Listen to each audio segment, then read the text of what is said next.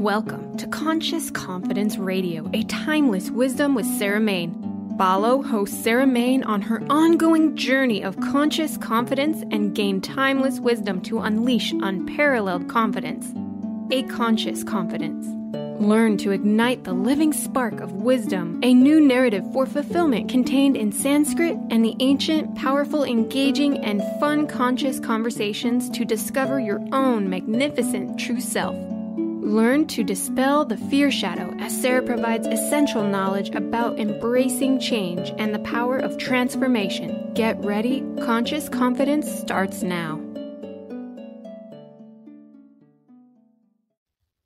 Welcome, everyone. Welcome to Conscious Confidence Radio. Welcome to you. And today we are going to be talking about getting aligned and finding balance. So today's show is all about alignment and balance. And it's a wonderful topic, and I get asked about it so much. People just feel out of sorts, they don't quite know how to feel better, they're interested in well being, they want to be happy, they want to, full, to live a fulfilled life, but just every day they're just the stresses and strains on them just lead them to feeling out of sorts, out of alignment. And yoga and meditation and all those things help. But there's a lot of people that don't do that or they struggle to find time to do that because of a busy life. They've got family, they've got a job, they've got, you know, a house to look after or whatever, a home. So alignment and balance is critical. It's crucial to our ultimate well-being and to finding conscious confidence and to feeling settled within ourselves so that every day just isn't a scramble of getting through things. So today's show, getting aligned and finding balance is what we're going to be talking about. And so let's get into it. We've got a story to start with. So there's a, a university classroom and a professor walks in and it's a normal day and all the students are waiting for the normal lecture to start. And the professor gets out a, a glass jar and then he gets out a bag of big rocks and he starts filling the jar with the big rocks right up to the, the top, right up to the rim. And then at a certain point, he turns around when the, when the big rocks are right up to the top of the jar. He turns around to the students and he says, Is the jar full? And everyone goes, Yeah, sure, the jar's full, absolutely. Nothing more can fit into it.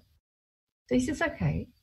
So then he gets out another bag of rocks, but they're little small stones.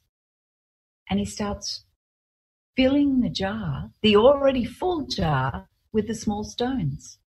And so the small stones fall in between all the cracks of the big rocks. And then he fills and fills and fills until the jar is full of little stones right up to the top. And he stops. Everyone's watching now. And he says, Is the jar full?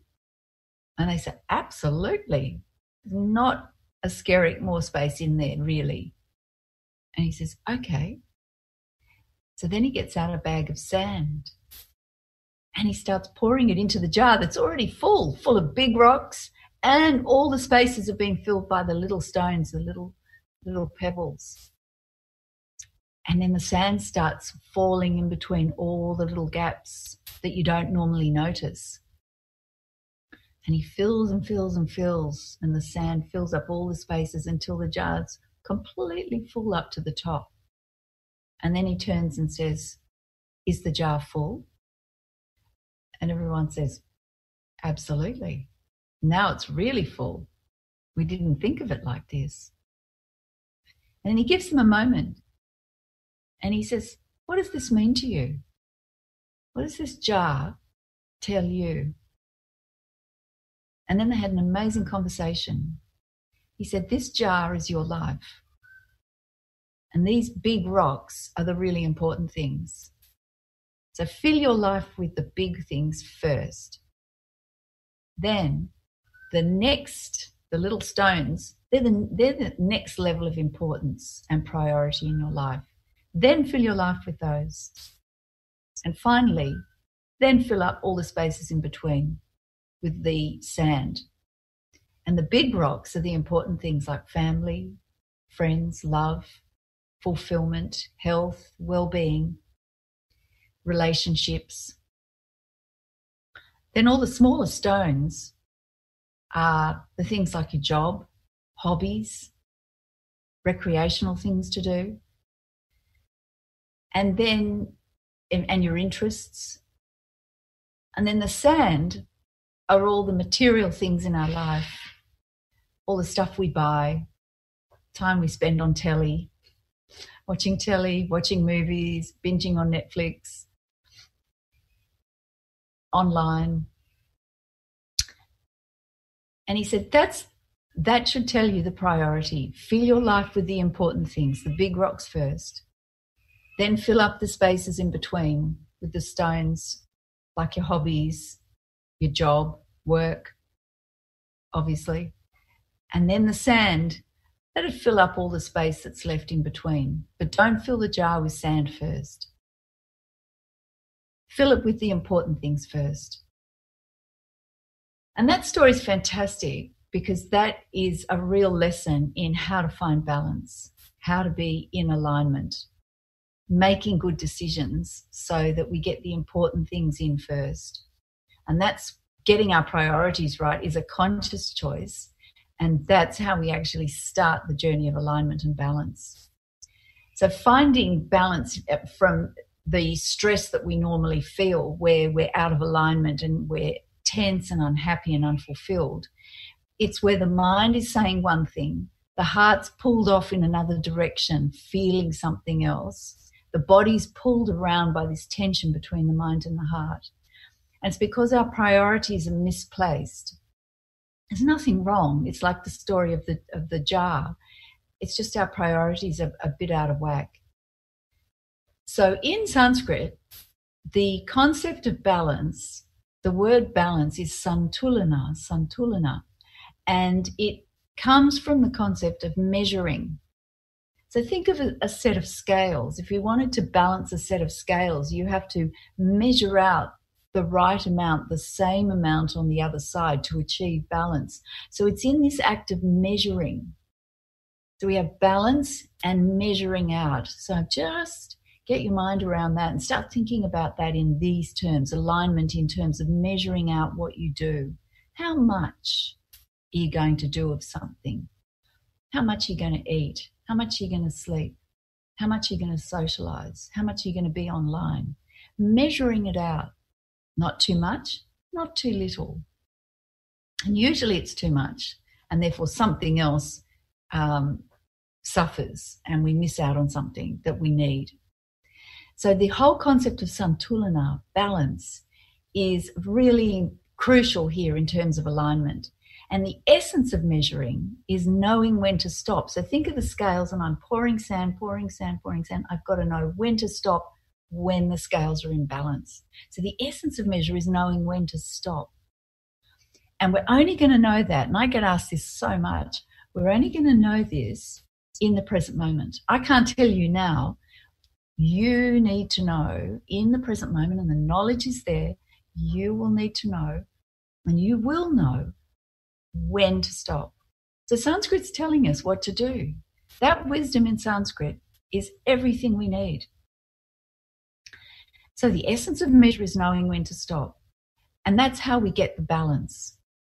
Now, I can promise you that if we actually practice that, if you actually practice that, you will find an enormous change in your whole sense of well being, your happiness, your calmness, your energy.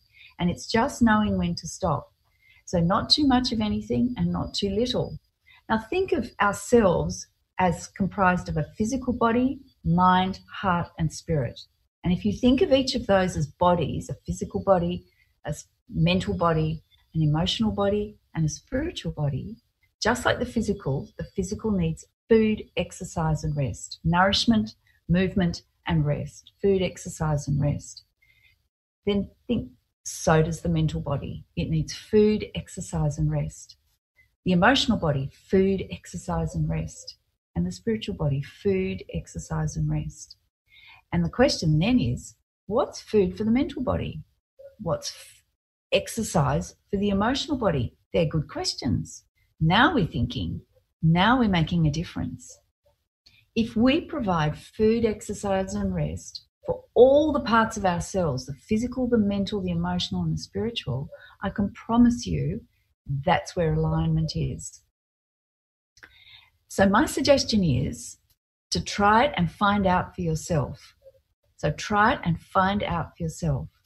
So, the essence of measure is knowing when to stop. So, pick some activity or some aspect of your life and see where you need to stop doing what you're doing. So, let's say watching TV.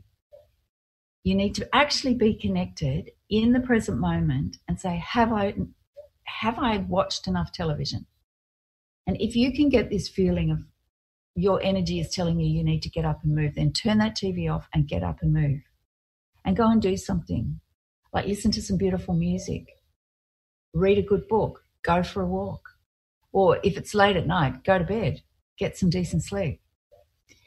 Sometimes if we're we tend to be a bit lazy, then the point of knowing when to stop may be indicated by you need to persevere a bit further before you stop.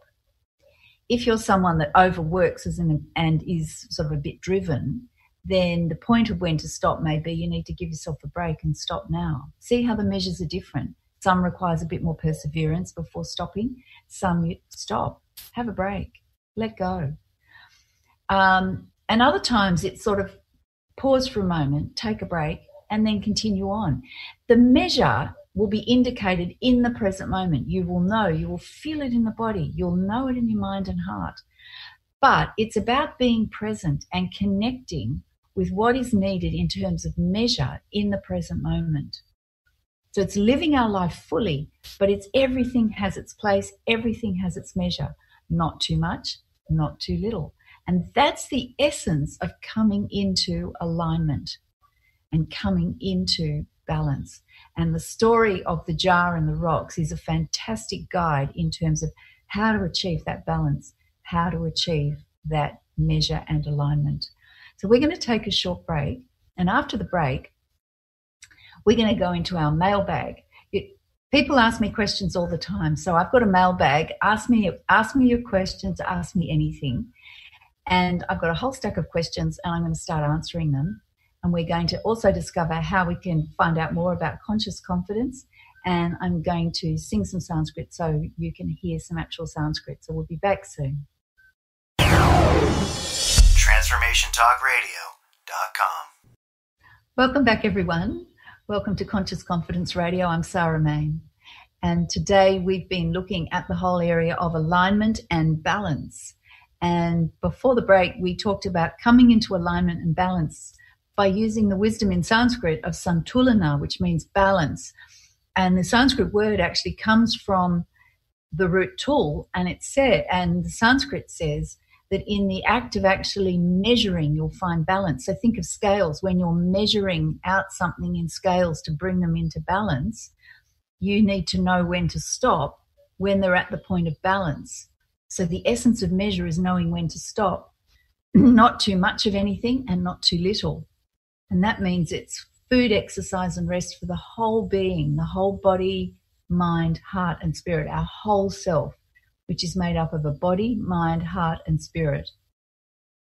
And so, food, exercise, and rest is for the whole person. And if you think of alignment and balance in that way, you may just turn the TV off and go and read a good book. You may get out your uh, paints if you love painting and start painting again.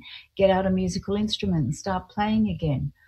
Call up a friend and go out and, and meet them. Do something different. Fill yourself up with some beautiful experiences. Go out in nature. Uh, meditate. Have some quiet time. If you're working, uh, persevere a bit longer. If you tend to just sort of get lazy and go into a bit of a dream, persevere and sharpen your mind and get some focus. So, the essence of measure is knowing when to stop and finding that balance of activities in the day so, so that it's not just all work or it's not just all being online and um, in front of a screen the whole time. So, it's getting that balance, not too much of anything, not too little. Just like the physical body needs food, exercise, and rest, so does the rest of us. So, moving on with um, what we are going to do today, we're going to go get into the mailbag so it's ask me anything, ask me your questions. And I get a lot of questions. And one of them is from a guy who said, even after meditating and doing breathing exercises every day, and he's really diligent, like he's got young kids and he's doing this every day. He's finding time, he's getting up early, and he's, he's putting some time aside for himself. He said, even after doing all this meditation and breathing exercises, what do you do when you feel great one day and just blah the next and completely unmotivated the next? And that perplexed him. What do you do? Well, I can tell you uh, from experience that these states of feeling fantastic one day and blah the next, they come and go. That's the way it is. The practices of meditation and presence, they just go on regardless. Doesn't matter how you feel. Just keep meditating. Doesn't matter what form of meditation you're practicing. If you're feeling unmotivated, doesn't matter. Just practice anyway. If you're feeling super energized and inspired and clear and calm, fantastic. Keep practicing anyway. Because those experiences are wonderful when you're feeling inspired and on top of the world. But they do pass because they're just states and experiences. And you're going to get times where it's the energy's a bit lower and you do feel a bit blah, basically. You just keep going through it regardless. So you're meditating for the sake of meditation and not for the sake of creating some state or experience, because that's where the real potency is. So don't be moved or, um, what's the word, put off by these changing states. They're going to happen. It's like the weather. Okay, next question. When life is going pear shaped, how does Sanskrit help? And this was by a single mum who said to me, Okay, Sanskrit, fantastic. But when my life is going pear shaped, how is Sanskrit going to help? And it's amazing how Sanskrit can help just by going back to the wisdom contained in some of the words. It can re inspire you to meet the challenges. If your life's going pear shaped, I'm guessing that there's some challenges there. Meet those challenges with an open mind and an open heart, putting your best foot forward with positivity, with love, um, with a willingness to learn, with gratitude for the opportunities. Now, sometimes that can be a big ask. Excuse me, sometimes that can be a big ask, but that's what's being called for. That's what's being asked of you. And if the challenges are there, you can cope with them. And that's a certain, that's a given that if the challenges are there, you're strong enough to cope with them. You have that within you, that you are strong enough. So the wisdom in Sanskrit just gives us a new perspective, like with balance and alignment. There's a lot out there on balance and alignment, but the wisdom of measuring, knowing when to stop, not too much, not too little, in the present moment, knowing when to stop. That's all contained in just that Sanskrit word, santulana, balance. Of course, we've got to practice it. Of course, we've got to um, test it out for ourselves. That's where the real transformation is. But that is the way forward. So, in those challenges, the wisdom in Sanskrit says, feel your feet on the ground, come into the present moment, let go of any reactions to the situation, take a deep breath, and ask yourself, what is the next best thing I need to do here to move forward? That's what Sanskrit's telling you. Um, you may not know that, and you don't have to study Sanskrit to know that, but that's the wisdom and the potency in Sanskrit. And then take the next best thing, the next best action that's indicating that needs to be done in that moment. And it's the next best action rather than a reaction to the challenges that are occurring. So that's one of the ways Sanskrit can help you. Apart from learning some Sanskrit and then actually chanting, because the sound is so powerful. Um, and that's certainly something that's learnable is a little bit of Sanskrit and just come back and remember a word like shanti, which means peace, or prema, which means love, or balam, which means strength, or smitam, which means smile. Just one simple word may unlock a different response in you. So Sanskrit's got so many different ways it can help you directly when you feel your life is going pear shaped, by challenges. Okay, next question. How do you remember? How do you stay in memory? And by that memory, um, the person that was asking me this question, um, they meant, you know, how do you actually stay present and awake and, and not forget something greater, not forget that connection to the present moment, to consciousness, to being?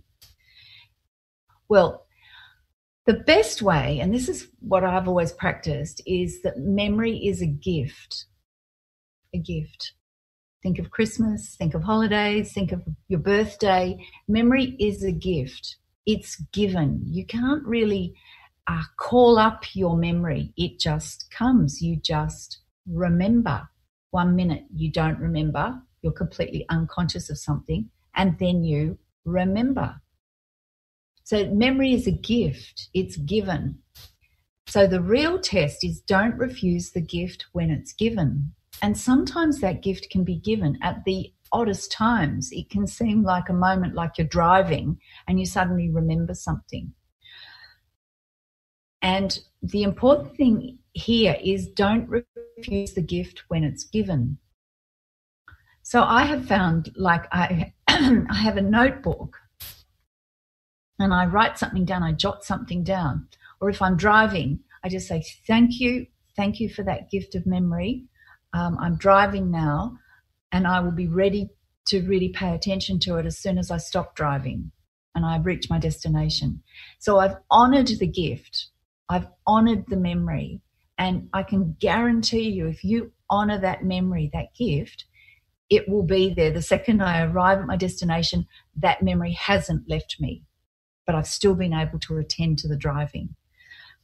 But similarly, you can make a note or, um, you know, just actually acknowledge the memory and then you will find it's there when you need it. And it's like anything, if, if you acknowledge and receive gifts, gifts open hearted, open heartedly, then the giver will give you more gifts. Because who doesn't love, when you're giving a gift, who doesn't love to be um, acknowledged and appreciated for that gift. We all love giving, especially when it's well received. So receive well that gift of memory, and you will find the memory will keep giving. Okay, one more question. Uh, focusing. How do I know um, in the conscious confidence program? How do I know that I need focusing? Well, focusing, if you're distracted, if you find it hard to keep your attention on one thing for more than three seconds, for more than two seconds, for more than one second, then you need to actually start paying attention. And we'll talk about this more in the next show because um, I've had a lot of questions about this. So maybe in the next show, in the next mailbag, we'll we'll address that even further. So thanks everyone for your questions. There's a lot more, and we'll get back to them in the next mailbag in the next show. So, how do you find out more about conscious confidence? How do you learn more? How do you discover more? How do you find out more? I get asked that a lot. Well, I've written a book, Conscious Confidence Use the Wisdom of Sanskrit to Find Clarity and Success, and that's available now it, at Amazon and Barnes and Noble. So, Conscious Confidence, my book, and that's full of stories and practices, and it tells you what the Sanskrit says about things. And there's contemporary accounts of people actually learning and demonstrating this. So there's tons in there. And so the book is a great resource. I'd like to feel that it's a resource or a manual for you to really use. So that's available, and you can go and get that at Amazon, Barnes and Noble, and on my website, consciousconfidence.com. If you want to know more about conscious confidence, go to my website, consciousconfidence.com, because there's a lot there. There's podcasts, and they're available on my website and also on YouTube. There's uh, magazine articles and a lot of other press and interesting things to read on my website. There's a blog with tons of other information and things to read. So if you want to know more and think more broadly and deeply about this, that's all on, on my blog. And on my website are two free videos you can download and some worksheets, and they're all about alignment and balance. It's me guiding you through two videos and some worksheets which you can print out about design your own alignment guide. And this is your personalized guide to coming into alignment and balance that would suit you in your life. So go to my website and give me your email address and I can send you those two videos. It's instant access to the videos and the PDF worksheets for designing your own alignment guide. And then you can get in touch with me on social media Facebook, Instagram, and YouTube. Drop me a line, ask me any questions. And in next show, we're going to talk about, I'm going to be talking about the power of speech and language. So on our next show, the power of speech and language and how meaning determines our reality. Because we literally speak ourselves and our life into existence. So words are so powerful.